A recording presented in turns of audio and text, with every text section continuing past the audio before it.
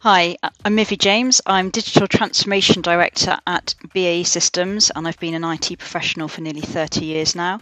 And I'm here to represent. Please, can you explain in two or three sentences what you do day to day? That's a great question because um, it's actually I wrote my own job description. Um, persuaded uh, my company to promote me into it uh, just over a year ago. So I'm still figuring it out slightly. Um, but on a day-to-day basis, I advise our customers on their digital transformation journey. Um, and what I mean by that is really helping them modernize their businesses to be more data centric, to make more use of agile ways of doing software delivery um, and to have a, a, sort of a digital culture. And my customers are government departments, mainly the UK defence sector. That's what BAE Systems is known for, but other government departments as well. Um, so it's a very customer facing role.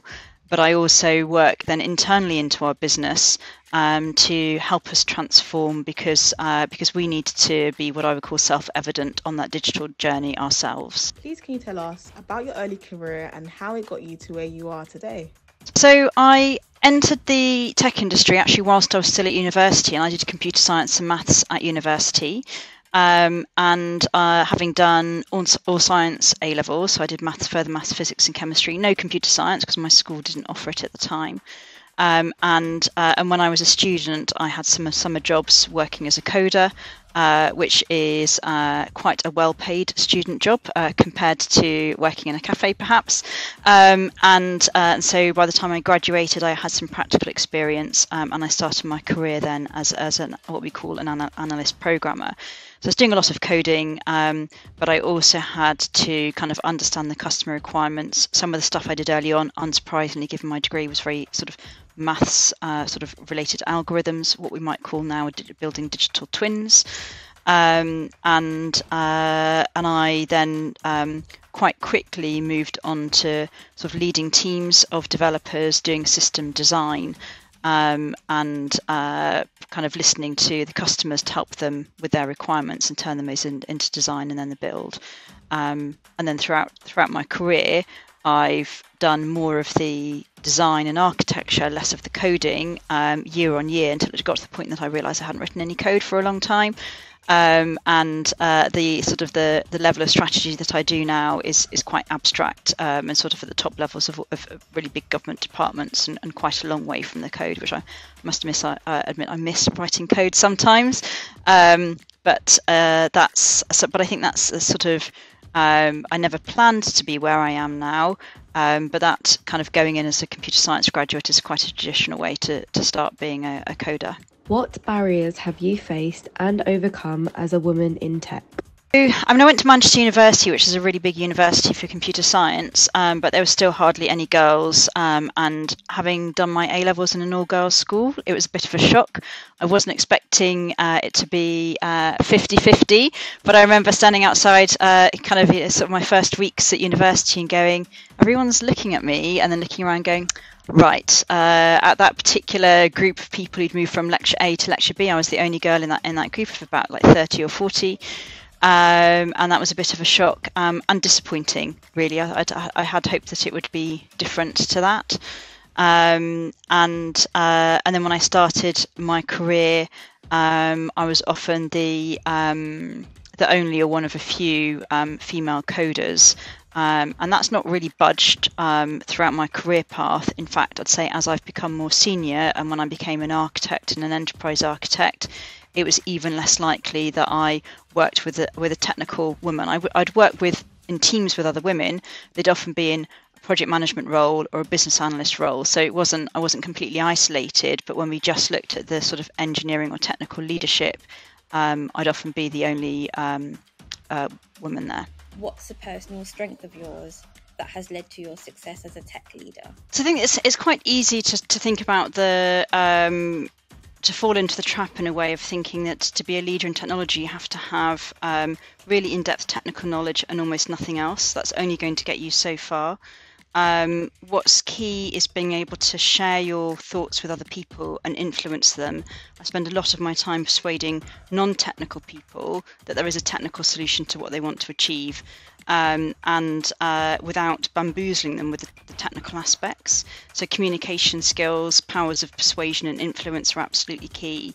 Um, and and kind of one of the things that I um, sort of really like doing is sort of joining joining the dots and recognizing that there's uh, a connection to sort of something over here to some to something over there um, at a sort of almost a, sort of quite an quite an abstract level. So being able to see that big picture um, because it's quite easy to fall into the trap of sort of going down into, into the weeds of something and being, having being able to lift your head out uh, of, of those weeds um, and look look more broadly is um, is key. And and some of the lessons I've learned the hard way in technology is that some of the most enduring things that I've designed or built have almost been my worst hours of an engine as an engineer. Kind of a, a sort of things where uh, we'll, we'll, we'll lash those things together, equivalent of lashing things together with tape, uh, and going, well, we'll fix that later. Um, and that's the stuff which re- has really lasted because it's actually done the job. So thinking about um, understanding how much uh, it's worth spending on fixing a problem um, is key to leadership um, because you can be technically purist about it and it's really interesting and a very nice kind of intellectual exercise. Um, but it's not necessarily going to get traction with the business. So, kind of having that sort of pra- pragmatic approach to things, even though you kind of think, well, I'd love to actually do this properly and be a pure computer scientist or architect about it, that's not necessarily the right answer.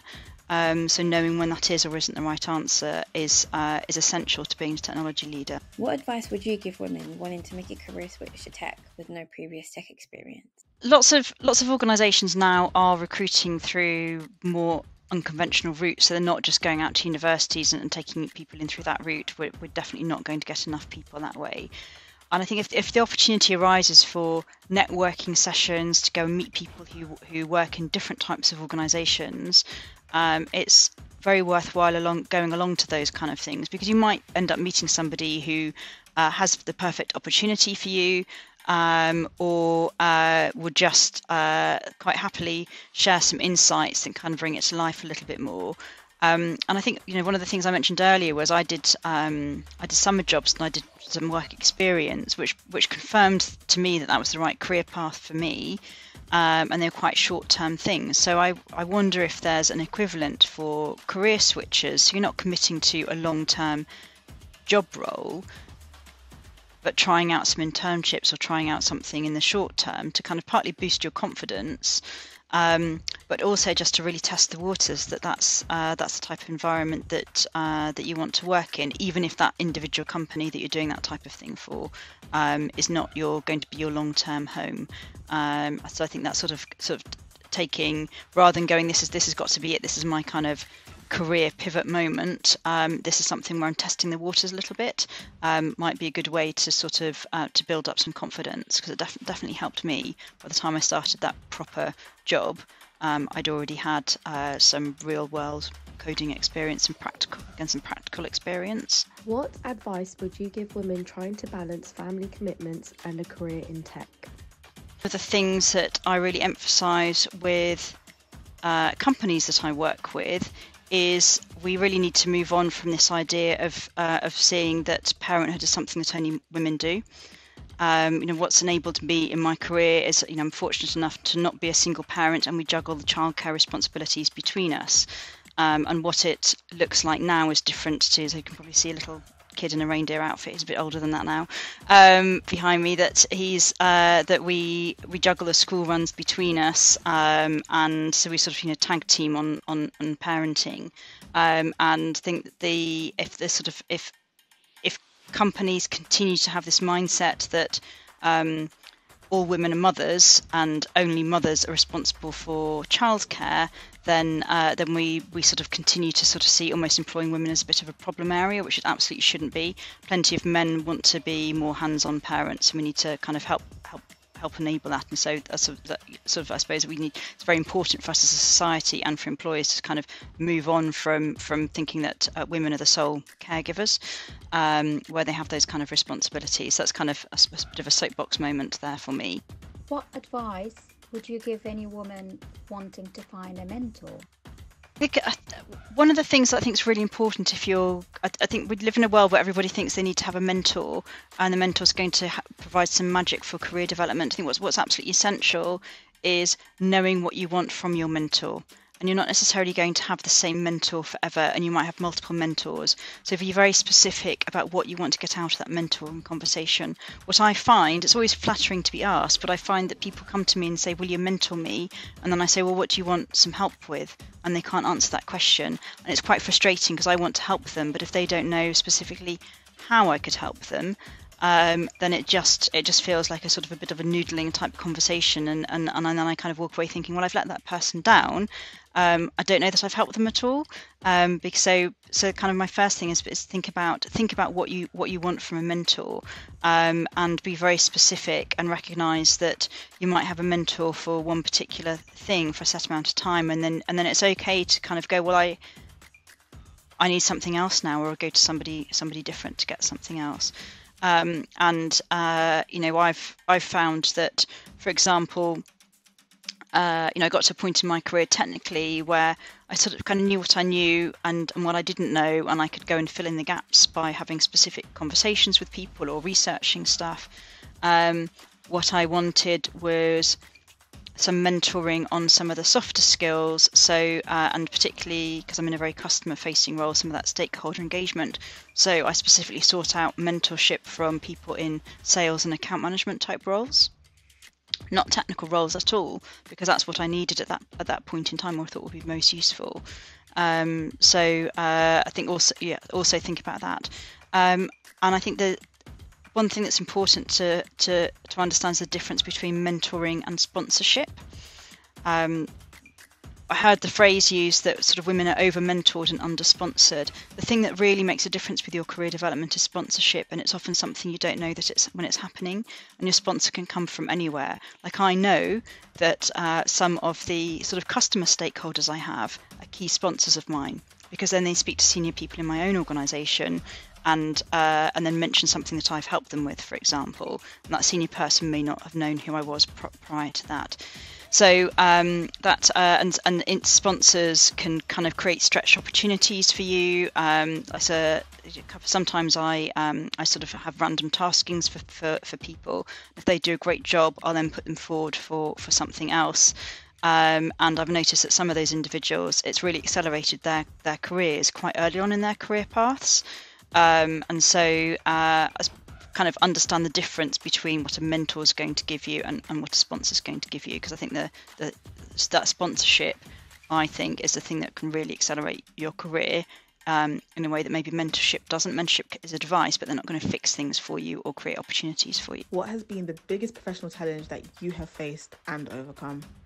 So when I when I look back on my early career, I was very conscious that often um, I was the only technical woman that somebody might have ever worked with. Um, and I carried that with me as a burden. And what I mean by that is I felt that I couldn't afford to make any mistakes, that I had to be flawless.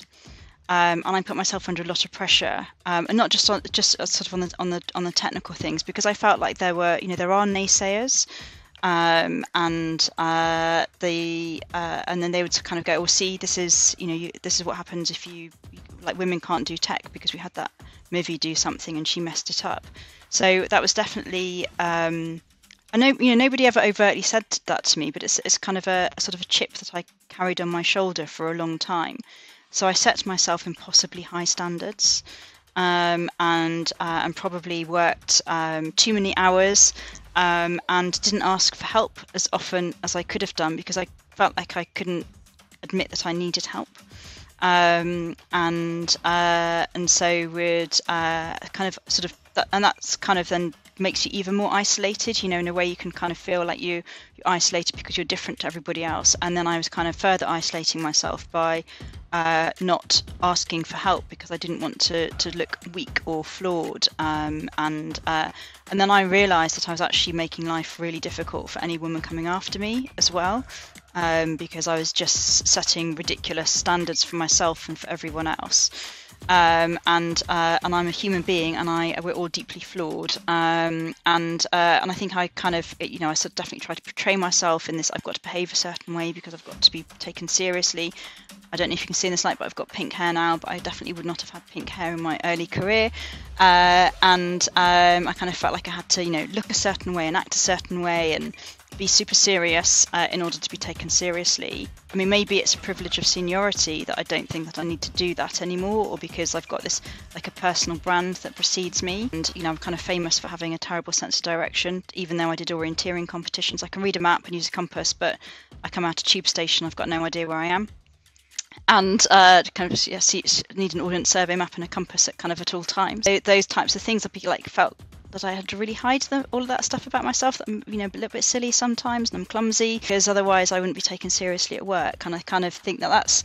Uh, I feel a bit sad telling you about that almost because I kind of hiding a lot of, of, of who I was, um, and I defeminized myself as well um, in many ways because I felt like I had to, you know, portray this image. I, uh, you know, kind of fell into a trap of wearing trouser suits, which are great, but it's you know it's not who I am. Black trouser suits and uh, and just uh, kind of then became very self conscious about um, kind of wearing makeup or wearing skirts and stuff. And it, like I got over it, obviously got over it, but um, it's just uh, I just felt self conscious, uh, and again it's that kind of sort of sort of burden that I'd put that I'd put on myself, not because of anything specific anyone had said. Kind of wish wish I hadn't done that. I think I probably would have been freer and happier and maybe more creative. Uh, and it's not. Yeah, I think it probably took its toll.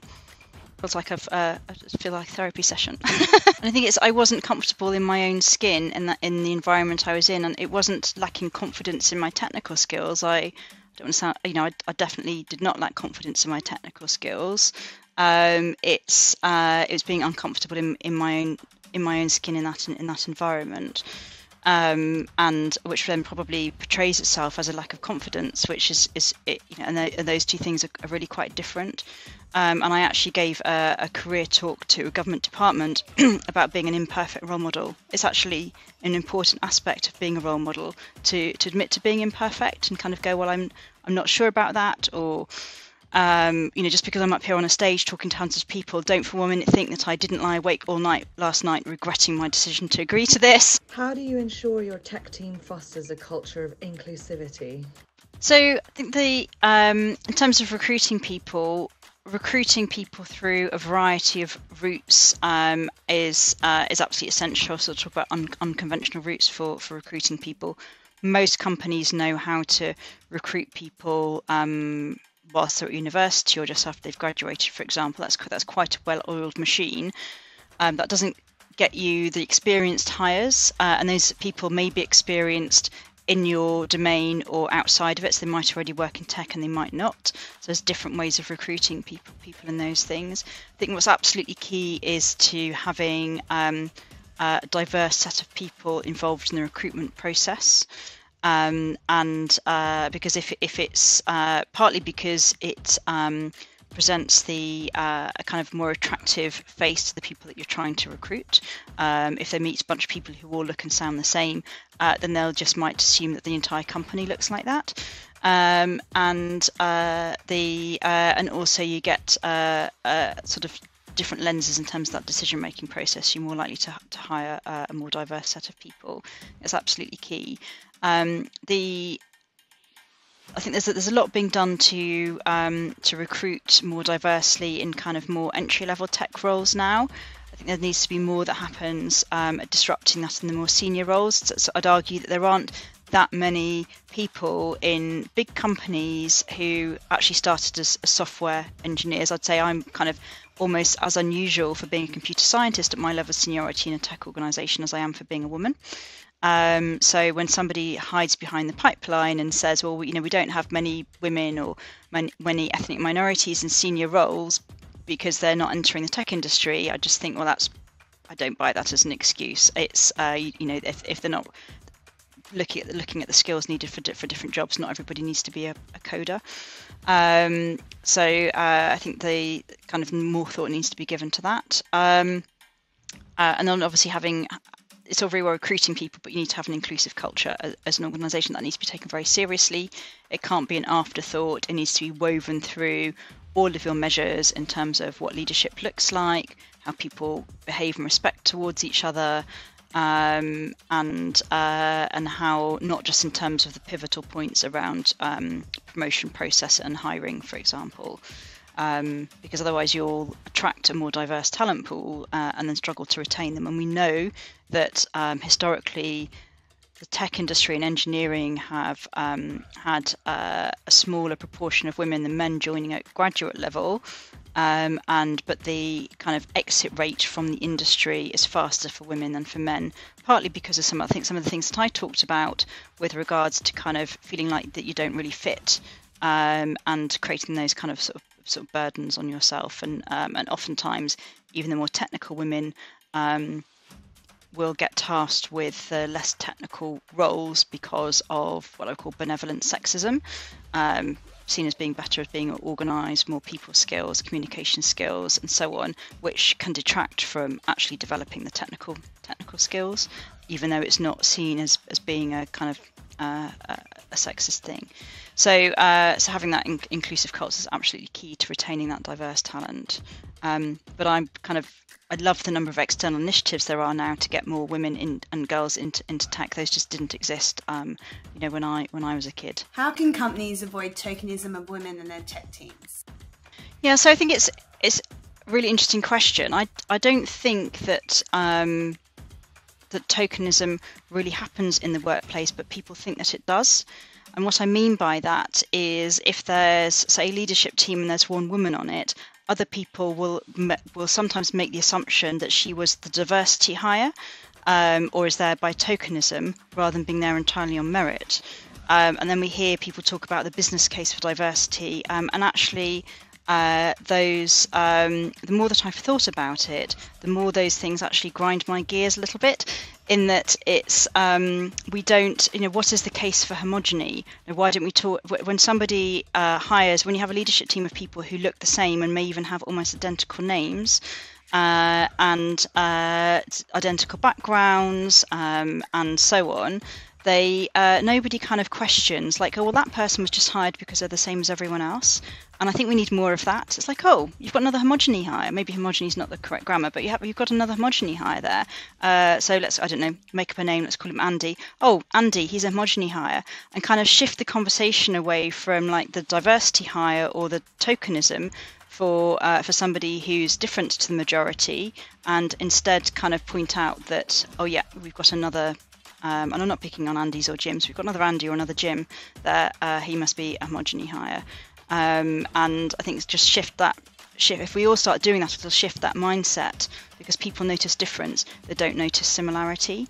Um, and so uh, you know, people won't. People I've noticed that that people will um, walk into a room, for example, virtual or physical, and they won't clock that almost every single person in the room almost looks exactly like them, sounds like them, has the same accent, is the same age, has the same haircut, uh, and it's just like it's just normal. Um, and then if there's one person who's different, then they kind of then they notice then they notice that difference. Um, and uh, it's yeah, I don't know if I'm explaining that very well, but I think we should you know, kind of switch the sort of the you know I don't I've never seen a woman actually be put in a team just because she's a woman. I think she's often will have had to have worked harder and be more talented uh, than her male peers in order to be in that position. Um, so I think it's something to actually celebrate, but you still get the people kind of whispering around the edges, like, "Oh, she's only there through tokenism." They, well, actually, uh, uh, are the men not there through tokenism in a way because they they actually look the same as uh, as the person in, uh, in the grade above them?